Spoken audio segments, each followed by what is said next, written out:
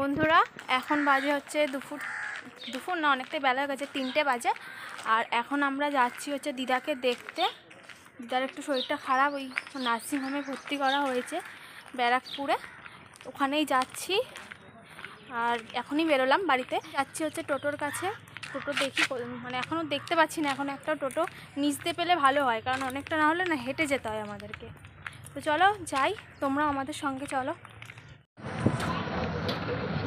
পেয়ে গেছি। যাচ্ছি এখন। এখান থেকে শান্তিপুর যাব। আবার সামনাগর থেকে টোটো পাল্টে আবার একটা টোটোতে উঠবো চলো আমাদের সাথে। দেখো, যাচ্ছি। মায়ের অবস্থা খুবই খারাপ ছিল, ওই জন্যই নার্সিংহোমে ভর্তি করা হয়েছে। ওই জন্য দুদিন তোমাদের সামনে আমি আসতে পারিনি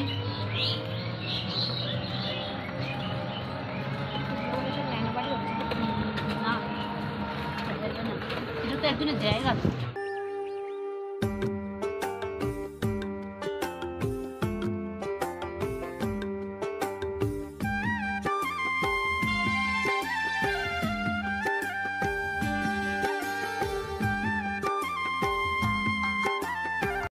আমরা এখন এই যে বাসের জন্য দাঁড়িয়ে আছি।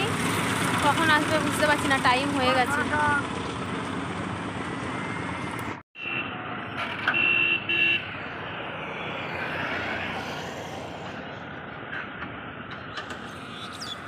অপেক্ষা করছি।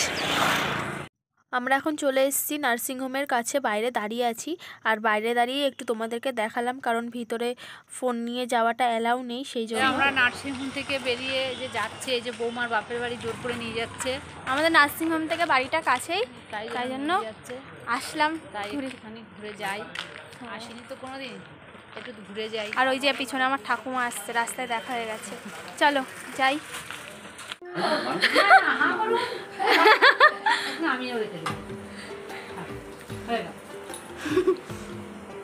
ওই তো নিয়েছে।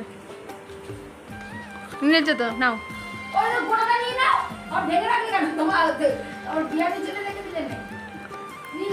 ভালো না সিঙ্গারা।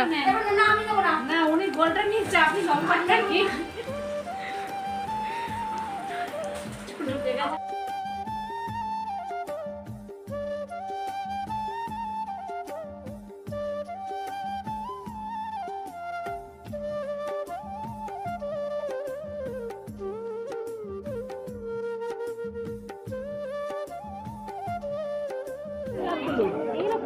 খায়।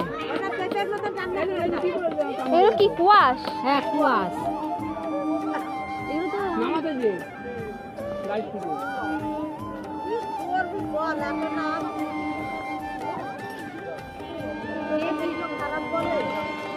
কত করে কেজি এটা? হ্যাঁ? চল্লিশ টাকা। নেবে? পেঁপের মতন বলে রান্না করে খায়। জানি তো না কোনোদিন। তুমি নাও। নিলে নাও। এবার যদি না এখন আগে এলাম এসে দাদুকে খাবারটা করে দিলাম আগে তাড়াতাড়ি করে দিয়ে এসে এই যে এখন একটু বসলাম। বসে দেখো আমি কি এনেছি দেখো এগুলো। কুয়াশ কোনোদিন তো খাইনি। নিয়ে এলাম নিয়ে এসে কালকে রান্না করব। পুরো পিয়ারার মতো দেখো পিয়ারা মতো দেখো। আমি তো মনে করছি পিয়ালা তোমরা কি কোনোদিন এগুলো খেয়েছো?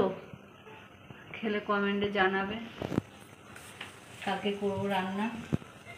তাই ঘরে কেউ খাক না খাক আমি আর আমার বৌমা দুজনে মিলে খাব। তো সেই হিসাবে নিয়েছি। আর- আর ভালো লাগছে না।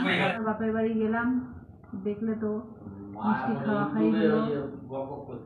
মিষ্টি খাওয়া খাই হলো তা তোমাদের কেমন লাগবে জানাবে? না মার শরীরটা ভালো শুনেই গেছি নইলে যেতাম না। দেখলাম মা বলছে একটু ভালো আছি। গেলাম নইলে যেতাম না বলো। একজন নারী আর মিষ্টি খাওয়া খাই এটা কি হয়? এই যে এখন বসেছি এই যে আর একজনের শরীর খারাপ যে গলায় কাপ ইয়ে খুবই অসুস্থ কথা বলতে পারছি না। কদিন ধরে তোমাদের সামনে আসতে পারছি না।